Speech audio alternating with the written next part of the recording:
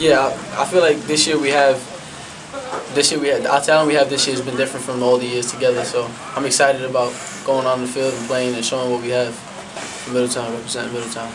Yeah, and uh, the way the way we left off in the season last year, we, you know, we played cleaner ball, hit the ball better, and we're hoping to bring that momentum into this year and hopefully win games early, get a good seed, hopefully in playoffs, hopefully make playoffs, and then hopefully go farther than that. But we all played summer ball.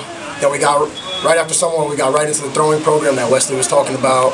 Right in the fall, build arm strength, and winter all in the gym, hitting, focusing on the fundamentals of the game.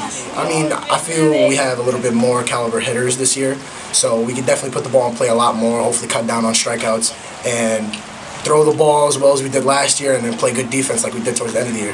I think our, our main focus is on to play as a team and to do everything together and scratch and close runs when we can. And I think that'll be successful our year this year. Kind of, kind of the same thing, you know. Same, just trying to pick up where I left off last year.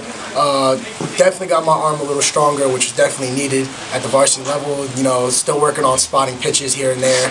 And you know, I got my I got my defense behind me. I can trust my guys to make the plays. When it comes to baseball, you definitely want to get your defense. Defense definitely takes the most uh, time-consuming part, so you want to make sure they got the fundamentals down to work on their throws.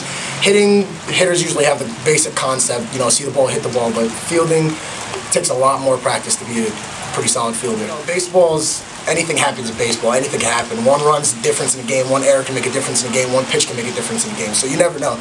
You know, hopefully we're hoping to be a top contender this year and uh, compete.